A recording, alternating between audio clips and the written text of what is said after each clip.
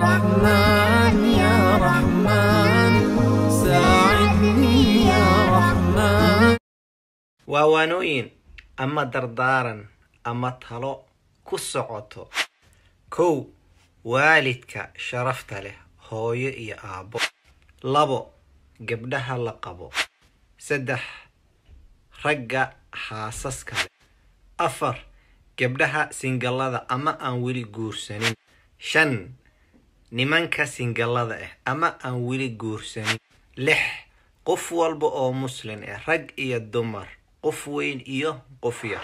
Alxamdu lilah wasalaatu wasalaamu calaa rasuulilah horena joogtaan assalaamu calaykum waraxmatullaahi wabarakaatuhu.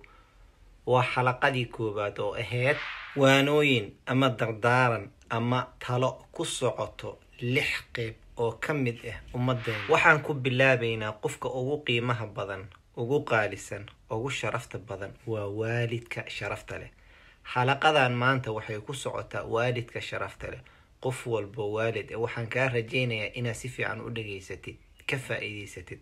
Khayr allah ku siiyo waalidka sharafta leh waxaan rabaa inaan ku xasuusiyo inuu ilaahay carruur ku siiyo waa nicma. Alxamdu lilah inuu ilaahay ku gaarsiiyo caruurtaadoo la guursadayna waa nicmo kalo alxamdu lilah inuu ilaahay ku tuso carruur aa awow u tihid ama ayey a u tihidna waa nicmo kalo alxamdu lilah intaas waxaa ka sii weyn inuu ilaahayna siiyey diin islaam. Uu muslim kaa dhigay. Diinta islaamkana ay sheegtay xaqa aa leedihid iyo in baari i lagu noqdo waajib ay tahayna waa nicmo kaloo weyn. Alxamdu lilah intaasuu ilaahay ku siiyey waalidka sharafta leh maanta waxaan rabaa inaan ka hadlo nicmooyinkaas uu ilaahay ku siiyey maadaama lawada ogeen dhibaatooyin qaar ay sheegtaan carruurta carruurta yaryarka ma wada carruurta reeraha leh gaar ahaan carruurta soo gashay galbeedka yurub ama mareykanka dhibaatooyinkan sheegayna si fiican intaan dhibaatooyinka sheegin waxaan rabaa inaan baraarujiyo waddan markuu burburo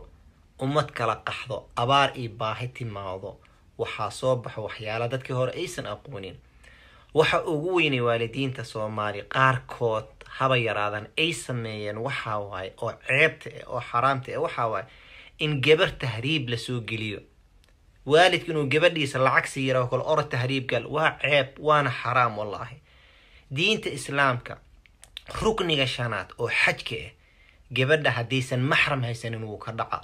Nebigana sala allahu calayhi wasalam wuxuu u diiday inay safarto safar wuxuu yidhi uma banaana gabar mu'minad ilaahay iyo aakhira rumaynayso inay safar gasho. Waalidow sidee gabadhaada ugu aamintay inaad tahriib soo geysid? Dad bannaan u soo dirtid. Waalidkii sameeyey ilaahay aga toobadkeen waalidkan weli sameynayna sharaftaada iyo sharafta gabadhaada iyo diintaada ilaali. Waalidiinta sharafta leh. Caruurtaa dibadda u soo dirtay meel walba ha noqoto ama caraba ha noqoto ama yurub iyo maraykan australia ha noqoto. Caruurtii waa weynaadeen reeray yeeshteen mas'uuliye kalaa fooshay caruurtii waxay ka dacwoodaan laba arrin. Waxayna ka sheegtaan waalidiinta waddanka joogtay labadan arrin. Inay ku bushgareeyaan ama ay ku dhibaan. Labada arrin waa ka hadlaynaa qaarkoodna guryaha ku burburay guryahooda ku burburay dhibaatadan badi waxay ku dhacdaa waa gabdhaha haddaba labada dhibaato ay carruurta qurbaha loo soo diray sheegtaan maxay tahay? Kan ugu muhiimsanaan ku bilaabayna dhibaataday sheegtaan waxay ku saabsan tahay waa biilka la diraayo caruurtii waa guursadsan hore u soo sheegnay waa weynaatay. Gabadhii waxay ku leedahay sheekhow ani markaan singalka ahaa waa u diri jiray waalidkii hadda laakiin waa guursaday. Uuraan leeyahay wallacaan ahay ama waa nuujina.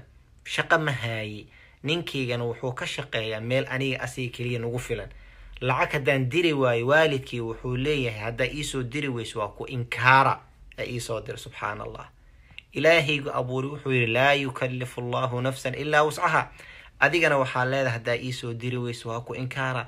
Arrintaas waa arrin xune ha laga fiirsado bal taas waxaa ka sii daran waxay ku leeyihiin aniga inaan hooyadii boqol dollar ama aabahii aan u diro meel walba aan ka keenee waa samayn karaa laakiin waalidkii sometimes hooyaday ama aabbahay waxay igu qasbayeen walaalkay ama walaashayo la qabo ama habaryartii inaan biilo.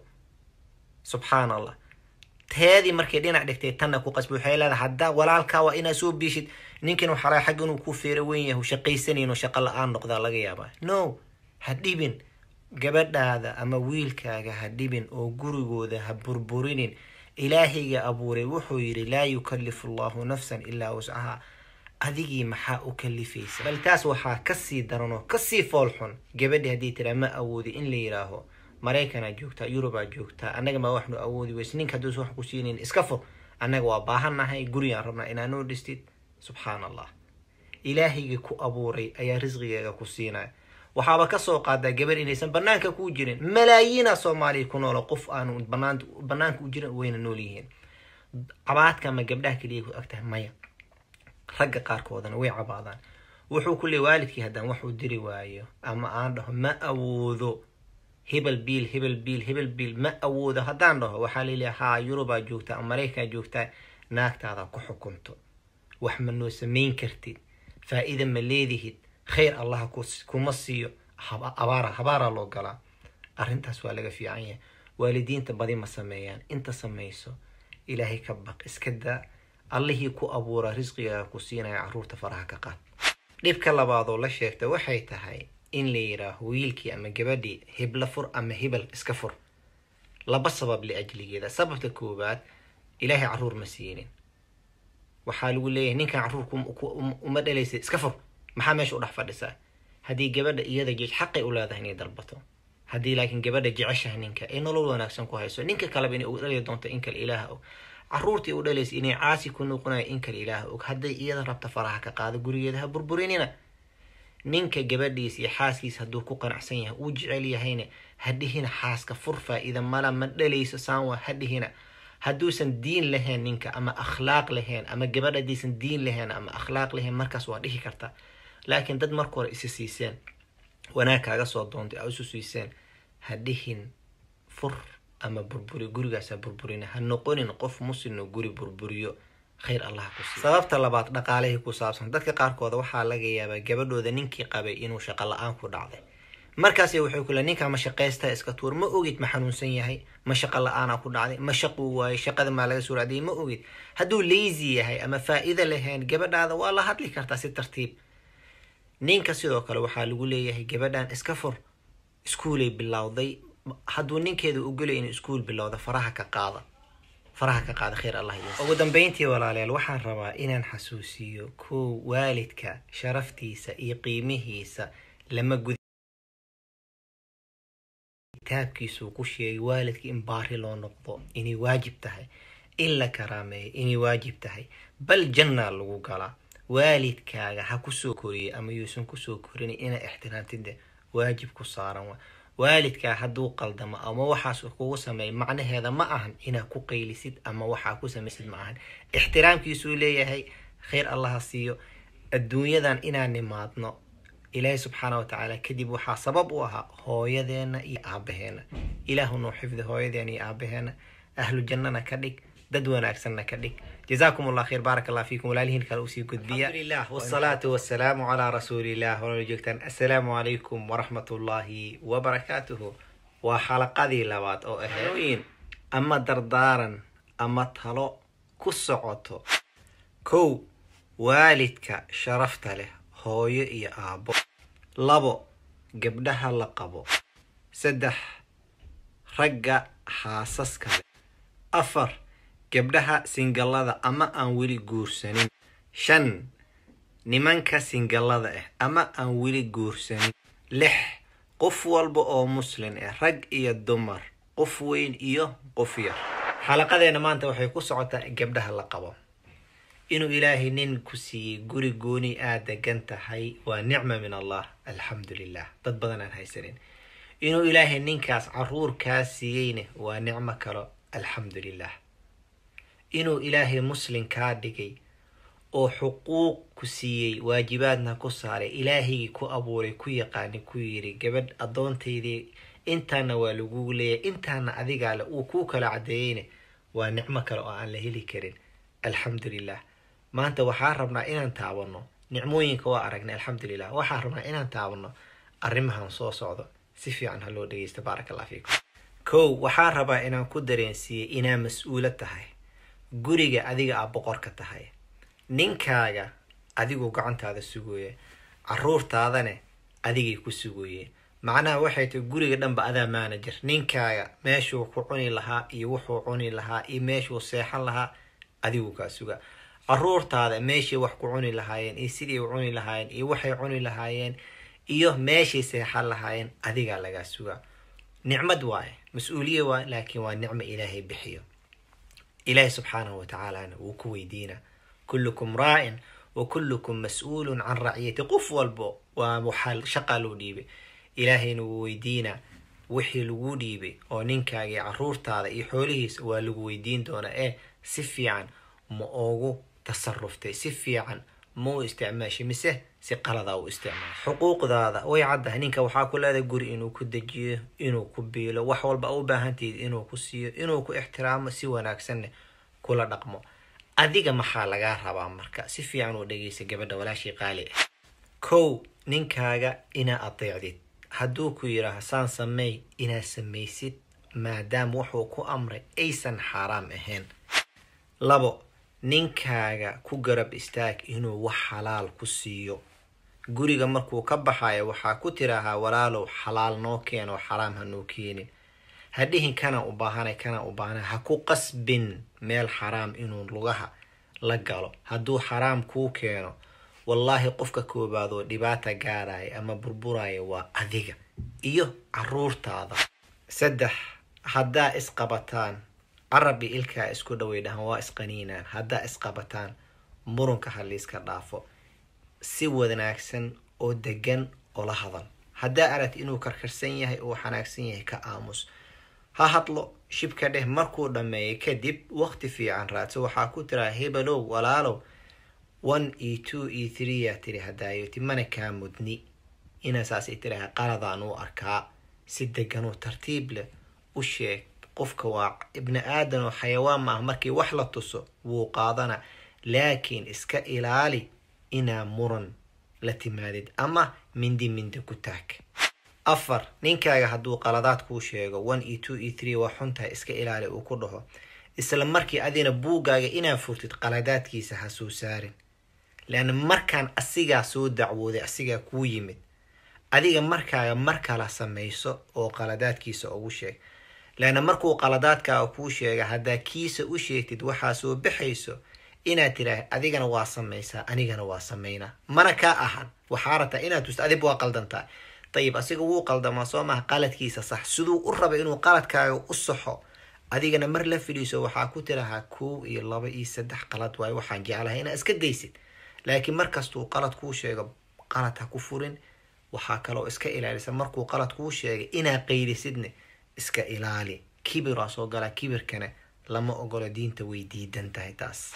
Shan mar kastaa ninkaaga dhibsatid ama aa xanaagtid ama aa nacdid waxaa xasuusataa wanaaggii aa ku bilowdeen iyo waxaa kaloo xasuusataa caruurtan ku hoos fadhis oo aad jeceshihid aabbahood waay xusuusno walaa tansaw alfadla baynakum. Xanaag aa marka xanaagtay ama dhib aa ka dhibsatay wixii hore dhan ha ku burburinin dumarka way ku badan yihiin. Nabiga sala allahu caleyh wasalam wuxuu yidhi naartaan arkay waxaan arkay dumarkuu ka buuxo. Markii la weydiiyey waxay dhaheen rasuulka wuxuu yidhi qofka hadduu ninkeeda dah cumrigiis hadduu wax wanaag u sameynaya oo hal maalin ay wax weydiisatay u sameey waayo jawaabteeda waxay noqonaysa weligaa wax ma siinin. Subxaan allah cadaala ma ahan. Taas iska ilaali khayr allah ku siiya number lix waxaa ogaataa ninkaaga waa ibni aadan gabadha markay guurka soo gelaysa waxyaalo badanaa maskaxdeeda ku jiro. Markay timaado waxaa laga yaabaa si kale inay wax u aragto. Ogow ninkan waa ibni aadan. Waa qaldama. Saa adiga u qaldamaysiduu u qaldama. Ma dhammaystirno. Wuxuu leeyahay nuqtat dacf weak point uu leeyahay. Saa adiga u leedihid waxaa samaysaa wanaagiisana ugu mahad celi. Xumaantiisana si tartiiboo degan u badal waa ninkaaga.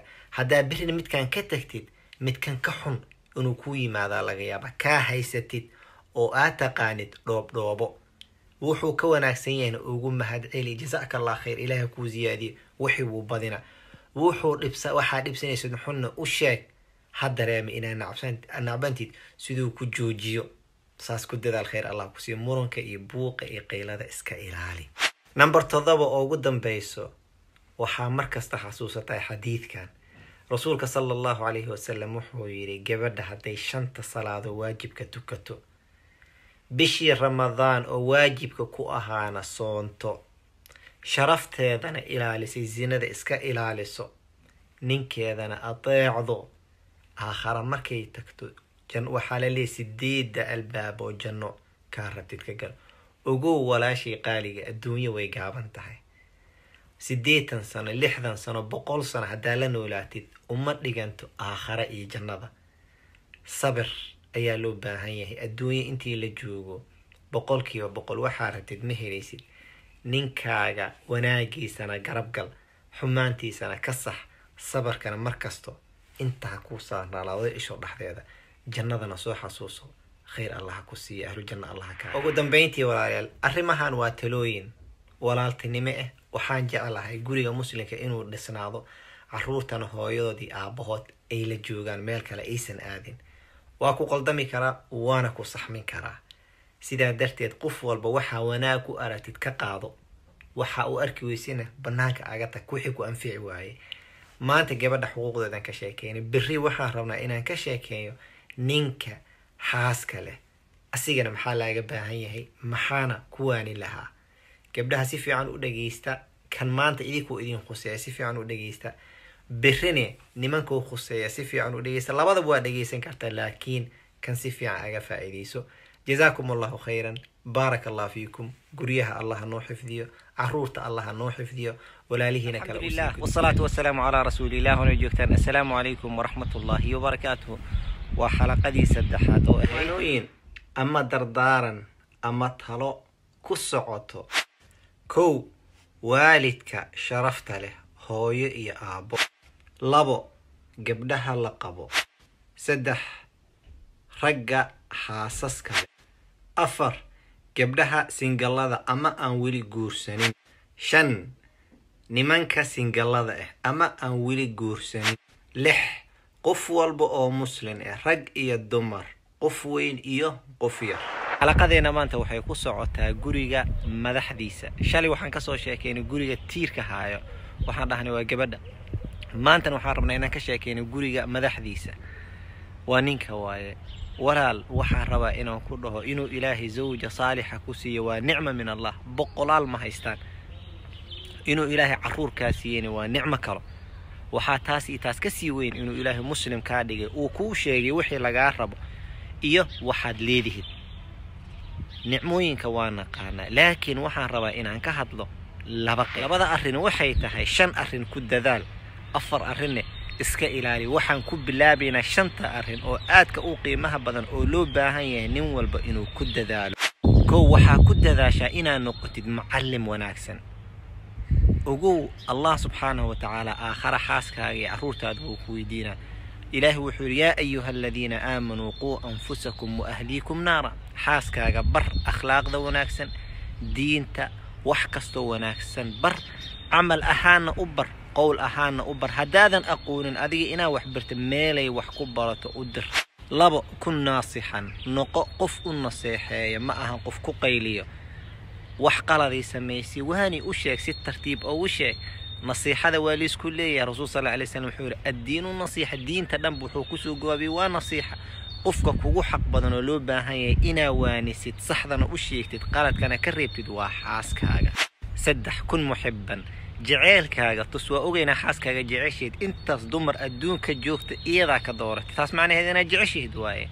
Tus jeceelka ha kaa aragta nimanka waxay ku leeyihiin xaaskayga ima tusto inay i jeceshahay adiga tus inaad jeceshiid ha kaa aragto inaad jeceshiid waa ku jeclahay dheh biri iyadana way ku dhehaysaa tan afaraad waa kun catuufan xaaskaaga cadfigaaga raxmadaada keerkaaga walwalkaaga tus haddaa aragtid inay dhibaataysantahay la sheekayso ehelkeeda weydii qaraabadeeda weydii wax may u baahan tahay weydii tus caruurtaada markay xanuunsanta waa u timaada madaxa u salaaxda xaaskaaga ka sii weyn carruurta wax kuu keenayba waa xaaskaaga حرورتها كفي عن حاسكا أولا دقن تنشان هذا أغمي همسان كن مستمعا حاسكا مركي كوشي كينيسو لغيسو حاسك ديغن قف مشغول سن أما ميل كالجيرو وقت سي مركاسي سيدنا لغيسو مركي كو لغيساني ساني لكتا أراري النبي صلى الله عليه وسلم كما مشغول بدنيد caaisha waxay tiri habeen habeenada ka mid rasuul sal alay slam waa fadhiistay waa u sheekeeyey. Sheeka hadda dhacda agama sheekeynaysa waxay aga sheekeynaysa sheeke sheeko sheeko xariiri aga sheekeynaysaa xadiidkii umu zarc ee dhehaysa kow iyo toban dumaraa wada fadhiistaysaan waa sheeko sheeko waaye xaaskaaga dhegayso waxay u baahan tahay ka dhegayso tus inaad si fiican u dhegaysatay adigana u sheekayn shantaas arrin markaa ku dadaashid afartan arrinne iska ilaali kow xaaskaaga hadday carooto ama ay qayliso ha ka daba caroonin ha ka daba qaylinin. Dhegayso ilaa ay qayladeeda dhammaysato afkaaga ama aamus ama waxaa ku tiraahay waa saxsan tahay. Intaas ayuu kula dhaafin. Markay dhammaysa kadib ay degto maalmo kadib la fariiso u sheeg waxay samaysay waxay ku saxsan tahayna ka qaado waxay ku qaldan tahayna u sheeg. Labo haddaa rabtid inaad qalad saxdid marka hore sheeg inuu qalad yahay dadka qaarkooda waxaa laga yaabaa maalmihuu jeclaa wax kasta xaaskii samaynaysa ma hadliinin. Xataa haddii tahay gadaala gadaalihii dambuu rabaa inuu saxo isla markii qayli iyo waxaasuu ku saxa. Maya marka hore sheeg inuu kan qalad yahay waxaasna qalad ku yahay kadib jooji ama qayli. Laakiin qaladka adigoo sheegin marka hore inuu qalad yahay wuxuu qalad ku yahay hala soo boodin. Istaab waxaa naga daa hala soo boodin. U sheeg marka hore. Waxaa ugu daran ragga qaarkood maalmaha koowaad xaaskooda wax walba faruhu aga qaada حقو مركي لو ذا جوجو قلادات كحول ما يجوج يجوج يجوج وش هيك مرقور لأن هذيك جو أقلاته سدح وح إسك إلى لسا عرور تاض خرط وض حاس كا إنا كقيلس أم أكو عنانت أم أدلم مرنت إسك إلى لي تاس حاس كا كلية ما داوعيس الماء حتى وداوعيس إيه إسك إلى لي أفر هنقول نقف وح والبفرة الله صوجر kuraasay keensatay meeshaanay ka wareejis meeshaanay keentay maxaa kursiga meeshaan aga qaaday iyo maxaa daaha meeshaan aga furtay? Guriga iyadaa iska leh ayadaa boqorka ah maalinba meeshay rabta waxay rabta ha dhigata faraha aga qaad. Kursigii ka qaadi ha qaado way soo dhigta ha soo dhigto hal waxaa lagaga baahan yahay. Hadday wax qurxan keenta inaad tiraad maasha allah guriga waa qurxisay jazaaka allah khayr. Intaas keliya ha laga helo laakiin ka maxaa u samays ka maxaa u samaysay اسك إلى خير الله أو دنبينتي ولاليل واتلوين اموانو أما نصائح. قصت من ولالكين كصوت ولاليه سرق حدات كعمل فشي. واد ليبانيسا نولول وناكسن واد كنولانيسا وحا لا يابا قهر كمديني كو انفعد إنت كو انفعد كاستعمال. إنت كو أنفعن اسك ولاليه نكرن اسي جزاكم الله خيرا بارك الله فيكم. Gabdhaha kana dhegaysta kii shalayna dhegaysta ragga kana dhegaysta kii shalayna fiikum. wasalaatu wasalaamu calaa rasuulillaah horeyla joogtaan assalaamu calaykum waraxmatullaahi wabarakaatuhu waa xalaqadii afaraad oo ahaanooyin ama dardaaran ama talo ku socoto. Kow waalidka sharafta leh hooyo iyo aabbo. Labo gabdhaha la qabo. Saddex ragga xaasaska leh. Afar gabdhaha singallada ama aan weli guursanin. Shan nimanka singallada ah ama aan weli guursanin. Lix qof walba oo muslin ah rag iyo dumar qof weyn iyo qof yar. Xalaqadeena maanta waxay ku socotaa gabdhaha aan weli la guursanin oo qaaliga oo qiimaha badan. Walaal alxamdulilaah dheh ilaahay subxaanahu wa tacaala wuu ka karaameeyo xuquuqdaadana fowqa sabca samaawaat ayuu ka sheegay. Nebigana sala allahu calayhi wasalam wuu ku karaameeyo wuu kuu dardaarmay. Alxamdulilah dheh. Nicmaduu ilaahay ku siiyey qaar ka mid ayaan sheegaynaa. Waxyaalaha loo baahanya inaa ilaalisidaan sheegaynaa. Waxyaalaha loo baahan inaa iska ilaalisidna waa sheegaynaaye. Si fiican u dhagayso khayr allah ku siiya nicmaduu ilaahay ku siiyey waxaa ugu horeeyo in uu yidhi gabadha gurigeeda ha joogto aabbaheedna mas'uul ha ka noqdo ilaa la guursado. Waxbarashadeeda meeshay degayso waxay cunayso aabbaha mas'uulka ah ilaa la guursado. Markii la guursadane ninkeeda mas'uulka ah. Boqorad waayo gurigeeday fadhisaa. Wax walbay u baahan tahay ninkii amraysaa inuu u keeno tan labaad in gabadha muslimadda markii la soo doonto meher laga bixiyo. Macnaheeda ay tahay layidhaah ninka waxaa qaadanaysid wax raqiis ma ahan. Waa inaa wax ka bixaysid. Meherka waa laasim faraantiiba allaha ka dhigo. Gabar meher la'aan ma guursamayso taasna waxay ku tusaysaa qiimaha ay kuu samaysay diinta islaamka tan saddexaad weliyal amriga waxaa la amray gabadhiisa ninkuu ku daraaya inuu ka fiiriyo. Sababta maxay tahay gabadha waa raqiiqa way jilcan tahay waxaa laga yaabaa nin turufotooro beenaale inuu maskaxda aga ciyaaro. Weliya amriga waxaa la yidhi gabadha qalbigeeda ha ku doorato adigana caqligaaga aaga fiiri.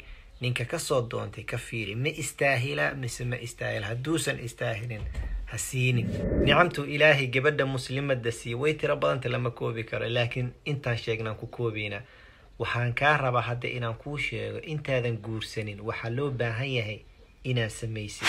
Kow ninkaa guursanaysid iska fiiri. Ha u guursanin lacag ha u guursanin qabiil ha u guursanin qurux. Waxaa u guursataa diin iyo akhlaaq. Xasan albasri raximahu llahu tacaala ayaa la weydiiyey. Wuxuu ninaa weydiiyey wuxuu ku yidhi sheekhu gabadhayda yaan ku dara wuxuu yidhi waxaa ku dartaa qof diin leh. Hadduu jeclaadana wuu karaamayna hadduu nacane ma dhibaayo. Waa fa imsaakun bimacruuf ow tasriixun biixsaan ayuu yaqaanaa. Diin markaan dhehayna kama wado qofka inuu sheekh yahay ama daaciya yahay ama caalim yahay kama wado qof diin leh waxaa laga wadaa qofkan diinta ma ku dhaqmaa salaadihiisa ma tukadaa afkiisa dadka maka ka haystaa diinta islaamka ma ku dhaqmaa oo diin ma leeyahay. Taas labo qofkaa guursanaysid markaa iska fiirisid oo diintiisa iyo akhlaaqdiisa aad ku qanacdid waxaa samaysaa istikhaaro ilaahay la tasho. Nebiga sala allahu calayhi wasalam asxaabtiisa wuxuu bari jiray laba ragco oo salaatal istikhaara la yidhaaho salaadaas tuko qalbigaaga wixii ku weynaadane ku dhaqaaq saddex ninka ehelkiisa intaadan guursanin ninkaa guursanaysid ehelkiisana si fiican isaga fiiri. Ninkan geedkama sugo inuu faamilu ka yimid faamilkaasna cilaaqa idin dhex marayso. Oo ah caruurtaada waalidkooda waa eedadooda adeerkooda awowgooda iyo ayeydooda waxaa loo baahan yahay cilaaqo fiican iyo wanaag inay idiin dhex maraan ama aad ka samaysid adiga. Sidoo kale waxyaalaha gabdhaha laaga baahanya intaysan guursan way tiro badan tahay laakiin saddexdaasaan ku koobaynaa hadda waxaa iska ilaalisay arrimahan soo socdo.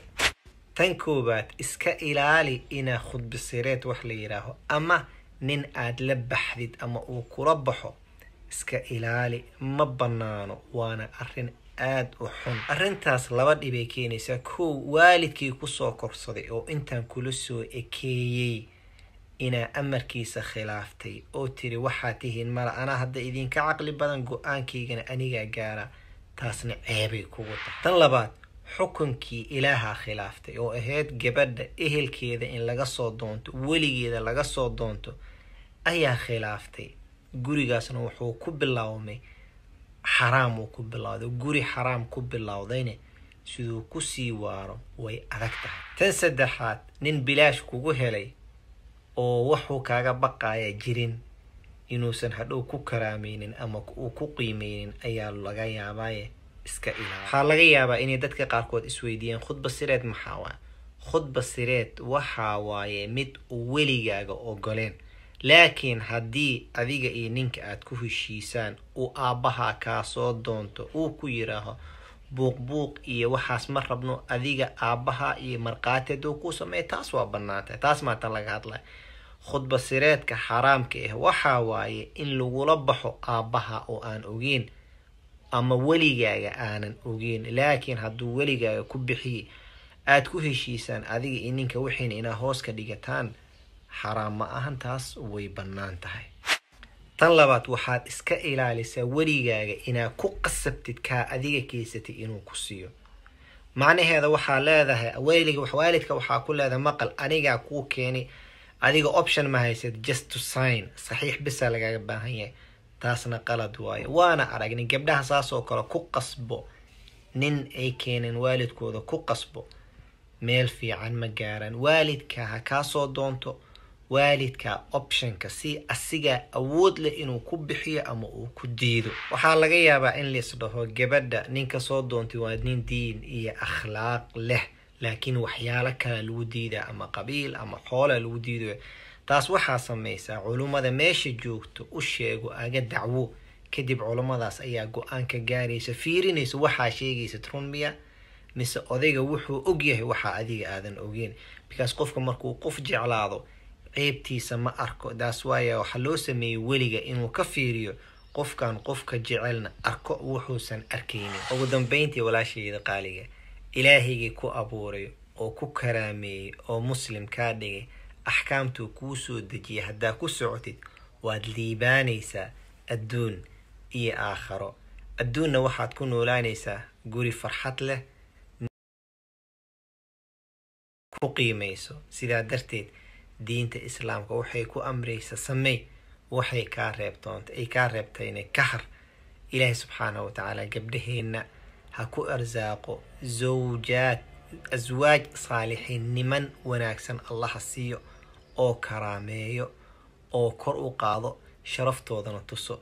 Aamiin. Jazaakum allahu khayran. Baaraka allah fiikum. Walaalihiina kale u sii gudbiya. Asalaamu calaykum waxaan kugu baryaa ismika alacdam oo haddii lagugu weydiisto aa siinaysid qof kastoo singal ah ilaahow waxaa ku arsaaqdaa qof wanaagsan oo nolosha la qeybsado aamiin dhahawa alxamdu lilah wsalaatu wasalaamu calaa rasuulilah wana joogtaan assalaamu calaykum waraxmat ullaahi wabarakaatuhu waa xalaqadii shanaad oo ahaanooyin ama dardaaran ama talo ku socoto. Kow waalidka sharafta leh hooyo iyo aabbo labo gabdhaha la qabo. Saddex ragga xaasaska leh. Afar gabdhaha singallada ama aan weli guursanin shan nimanka singallada ah ama aan weli guursanin lix qof walba oo muslin ah rag iyo dumar qof weyn iyo qof yar. Xalaqadeena maanta waxay ku socotaa ninka raba ficiisa inuu dhaafo. Ninkii seeftiisa bannaanka soo dhigtay. Ninka rabo sunnada nebiga sala allahu calayhi wasalam inuu ku camal falo. Ninkii rabay diintiisa nuska kale inuu dhammaystirto. Waa la wada fahma u malaynaa waa ninka aan weli guursanin damacsanna inuu hadda guursano marka hore alxamdulilah dheh kaa dhigay qof muslim ah kadibna ku siiyey hami inaad guursatid. Sidaa darteed waxaan kaaga baahanahay guurka maadaam nicma min allah uu yahay uu ilaahayna siiyey. Arrimahan soo socdo oon sheegi doono inaad samaysid. Arrimaha kalene inaad iska ilaalisid kow waxaan kula dardaarmaa dardaaranka nebiga sala allahu calayhi wasalam oo ah fadfar bidaati diini taribat yadak. Qoftaa raadsanaysid aa guursanaysid ha noqoto qof diin leh. Qurux xoolo iyo mansib intaba way baaba-aayeen. Tan labaad markaa heshid qoftaa isdhehaysa waa qofta diinta leh. Intaadan tilaabo kala qaadin istikhaaro samayso istikhaarayso ilaahay la tasho. Waxaa laga yaabaa qof diin leh inay tahay laakiin adiga aysan kuu fiicneen ilaahay la tasho. Waxaa tidhaha ilaahu hadday ii fiican tahayne ii fududay haddaysan ii fiicnayne iga fogey anna midka fiican isii qalbigiigana deji duxaa jirta nebiga sal allahu alay wasalamna baray. Tan saddexaad waddada saxda u mar. Markaa dhammaysataan waalidkeeda u tag waalidkeeda ka doono. Khudbasireed oo waalidka lala dhuumanayo iska ilaali. Tan saddexaad waddada saxda u mar markaa dhammaysataan waalidkeeda u tag waalidkeeda ka doono khudbasireed oo waalidka lala dhuumanayo iska ilaali. Tan afaraad waa muhiim jiddan nebiga sala allahu calayhi wasalamna asxaabtiisa wuu baray. Habeenka koowaadoo lagu keenayo adkaartii ha hilmaamin inaa madaxa qabatid. Allaahuma innii as'aluka khayraha. Ha hilmaamin adkaartaas. Tan shanaad guriga markii lagu keeno haddaa awoodi laba ragca inaad tukatid tuko xadiis saxiix kuma sugnaanin laakiin bacda salaf ayay ka sugnaatay. Wuxuu dhihi jiray gurigeyga waxaan jeclay inaan ku bilaabo mahadcelin aan ilaahay u mahadcelinayo. Laba ragc sunno tuka iyada inay kula tukatane way fiican tahay.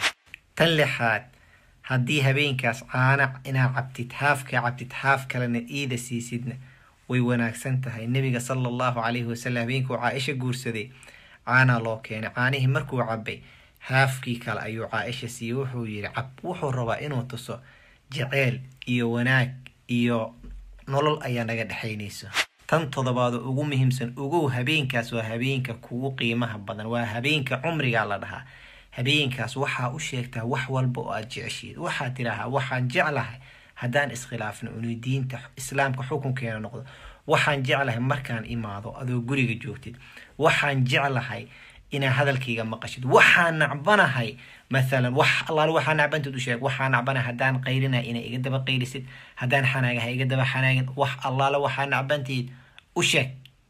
Habeenkaasaa kugu muhiimsan. Wixii habeenkaas qaanuun rasmi ah ku wada noolaataan qorta khayr allah idin siiya iyo wax kasta oo u aragtid inay wanaag tahay oo diintan ay ku bannaan tahay. Sameey leana waa guurka waa caadaad waayo qolo walba dhaqan gooniyay leedahay intaas haddaan aga baxno waxaan kaa rabaa inaa iska ilaalisid arrimahan soo socdo. Kow waxaa iska ilaalisaa inaa gabadhaas maskiinta ah la baxdid inaa maskaxdeeda ku ciyaartid adoo aabbaheeda u sheegin inaa guursatid. Iska ilaali. Laba arrin qaladaa samaysay kow gabar la soo korsaday la soo weynaystay dad soo korsadeena ka qaadatay amar la'aantooda waxaa leedahay awoodaan leeyahay waa qaadana.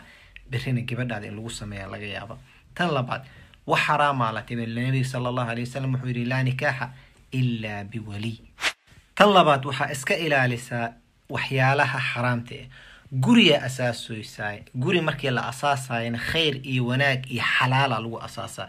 Hadda guri markaan dhisanayna asaaskiisa waxyaala xoog badanaa la geliya. Guriga guurka maanta guursanaysid gabadha guursanaysid guri waxaa dhisaysaa laga yaaba lixdan sano sideetan sano inaad wada joogaysaan. Sidaa darteed xalaal ku asaas iska ilaali heesaha ciyaarta iyo waxyaalaha xaraamta ah iska ilaali siduu gurigaaga u barakoobo. Tan saddexaad waxaa iska ilaalisaa gurigaaga inaa waxyaalaha xaraamka keentid ama laga isticmaalo iska ilaali. Guri ka dhig khayr lagu asaasay khayr ku socdo si wax khayr ah aga yimaadaan. Inta kale aad iska ilaalinayso waxaa dhagaysataa cajalka ragga xaaska leh si fiican ku anfici doona ugu dambeyntii waxaan rabaa inaan dhaho ilaahayow qof kasta oo singal ah oo nin ah waxaa ku arsaaqdaa gabar wanaagsan oo ahli diin ah ilaahayow gabar kastoo singal ahna waxaa ku arsaaqdaa siisaa nin wanaagsan oo ahlu diin ah ay ku degto. Aamiin.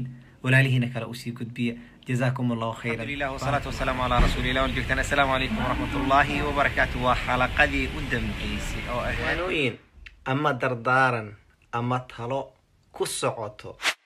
Kow waalidka sharafta leh hooyo iyo aabbo labo gabdhaha la qabo. Saddex ragga xaasaska leh. Afar gabdhaha singallada ama aan weli guursanin. Shan nimanka singallada ah ama aan weli guursanin. Lix qof walba oo muslin ah rag iyo dumar qof weyn iyo qof yar. Shanta xalaqa la soo dhaafay tan koowaad waxay ku socotay waalidiinta tan labaad waxay ku socotay dumarka la qabo tan saddexaadna waxay ku socotay rag xaasaska leh tan afaraad waxay ku socotay gabdhaha singallada ah tan shanaadna waxay ku socotay nimanka singallada ah maanta lixaad waxay ku socotaa qof walba oo muslim. walaalahii qiimaha badan. Waxaan rabaa inaan idinla dardaarmo saddex arrin oo aada muhiim u ah iyo dhowr arrin oo aada u xun inaa iska ilaalisaan. Waxaan ku bilaabaynaa saddexda arrin oo aada u qiimaha badan oo loo baahan yahay qof walba oo muslina inuu ku dadaalo. Dardaaranka koobaad waa dardaarno allah subxaana wa tacaala ummaddiisa u dardaarmay nebigana u dardaarmay. Waxaa waye taqwa allah inaa ilaahay cabsidiisa ku dadaashid ilaahay cabsidiisana waxay tahay wuxuu ku amri sameey wuxuu kaa reebayna ka reebtoon dardaaranka labaad hadduu dembi kaa dhacay ibni aadanaa tahaye towbada ku dadaal. Ilaahay subxaana wa tacaala wuxuu yidhi watuubuu ila allahi jamiican ayuha almu'minuuna lacallakum tuflixuun dardaaranka saddexaad waa xusnu lkhuluq akhlaaqdaada wanaaji carabkaaga waxaan khayr ahayn yuu ka soo bixin qalbigaaga cubdada ka saar wejigaagana mar kasta oo la caddaynta ha kaa muuqato.